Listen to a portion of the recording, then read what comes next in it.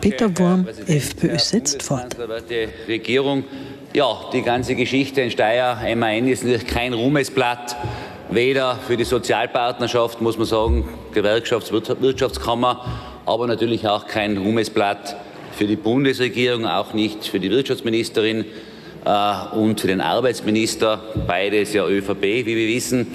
Und es ist heute schon viel gesagt worden. Ich versuche einmal ein bisschen zusammenzufassen, weil Zusammenhänge sollte man vielleicht schon noch mal klarstellen.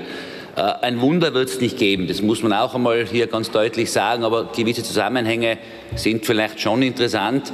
Äh, es wurde auch schon erwähnt, äh, ein, einer der Hauptaktionäre von VW, dieser der Eigentümer von MAN, ist natürlich das Land Niedersachsen. Da gibt es traditionell einen roten Ministerpräsidenten, also die ehemalige Sozialdemokratie dürfte international auch nicht mehr allzu gut vernetzt sein. Äh, und es gibt bei VW, soweit mein Wissensstand ist, einen Aufsichtsratsvorsitzenden aus Oberösterreich, aus Traun, der von sich immer behauptet, sehr, sehr gute Beziehungen zur Landespolitik, sowohl zu Rot als auch zu Schwarz zu haben. Jetzt frage ich mich schon, wer mit dem gesprochen hat oder was da im Grunde genommen passiert ist. Summa summarum, wir haben hier mit Steyr äh, im Prinzip einen Lkw-Standort, wo vor 100 Jahren der erste Lkw produziert wurde. Und Steyr wird möglicherweise auch ein Opfer der Europäischen Union sein. Ich sage es auch einmal so deutlich, um den Zusammenhang auch klar zu machen, weil wenn halt die Produktion nach Polen geht, dann einfach deshalb, weil es in Polen billiger ist. Äh, und ob das im Sinne des Erfinders ist, wage ich auch einmal zu bezweifeln. Vor allem hilft es in Österreich und in Oberösterreich, in Steyr, den Arbeitern und Angestellten nicht. Und das muss man schon auch einmal hinterfragen. Wir haben ja gerade großmundig angekündigt, auch vom Bundeskanzler, das Corona-EU-Hilfspaket mit gigantischen 700 Milliarden Euro. Da sollten eigentlich anteilsmäßig, wenn man es ungefähr hernimmt, zwei Prozent zumindest für Österreich drinnen sein kurze Kopfrechnung, das sollten 14 Milliarden sein. Wir bekommen in Österreich 3,5 Milliarden. Ist doch ein kleines Ungleichgewicht, meiner Meinung nach. Aber es gehen viele Milliarden nach Polen. Unter dem Titel, ist ja auch interessant, weil wir haben ja einen LKW-Standort hier, Produktionsstandort, und diese EU-Geschichte mit 700 Milliarden dient ja vor allem unter dem netten Titel Digitalisierung und Klimaschutz. Ja, da passt halt Steyr und LKW-Produktion jetzt vielleicht möglicherweise schlecht hinein.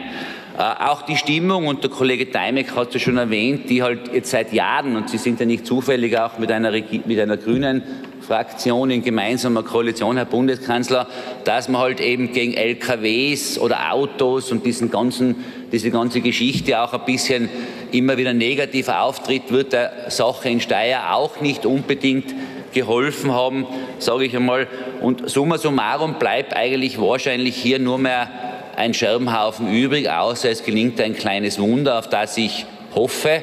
Und wir werden auch in unserem Rahmen mithelfen, dieses Wunder möglich zu machen, um Steuer zu erhalten, weil in Wahrheit, und das sollte man auch einmal erwähnen, äh, alles, was so an Green Jobs äh, auch immer angekündigt wird in eben den ominösen Pressekonferenzen, das spielt sich grundsätzlich in Asien ab, vor allem auch in China. Da wird der Großteil auch an Photovoltaikanlagen und sonstigen Dingen produziert. Also wir haben schon es nicht nur da will ich den Bundeskanzler in Schutz nehmen, sogar nicht nur in Österreich ein Problem, sondern auch europaweit ein Problem, dass hier offensichtlich diese Old Economy äh, offensichtlich nicht mehr zählt äh, und wir, sage ich einmal, ein bisschen ein Spielball geworden sind der anderen Großmächte und auch der Konzerne. Und da, und jetzt komme ich zum Punkt, versuchen wir zumindest als Freiheitliche einen klaren Gegenpol auch zu setzen. Äh, wir stehen ganz eindeutig auf Seite der Arbeiter und der Angestellten. Wir stehen auf Seite einer österreichischen Industrie. Wir stehen auf Seite der österreichischen Wirtschaft und man muss ab und zu auch einmal Grenzen aufzeigen, was die Internationalisierung betrifft. Und in letzter Konsequenz ist es natürlich eine Machtprobe und ein Pokerspiel. Wohin geht diese ganze Industrie? Wohin gehen die Arbeitsplätze? Und jetzt fasse ich zusammen und beginne wieder oder ende dort, wo ich begonnen habe.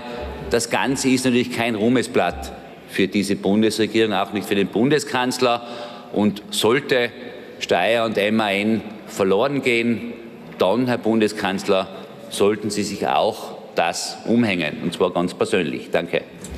Peter Wurm von der FPÖ wundert sich, dass die lokale Politik in Oberösterreich nicht mit dem Aufsichtsratsvorsitzenden des VW-Konzerns wegen Emma in Steyr gesprochen habe. Dieser heißt Hans-Dieter Pötsch. Er ist aus Traun in Oberösterreich gebürtig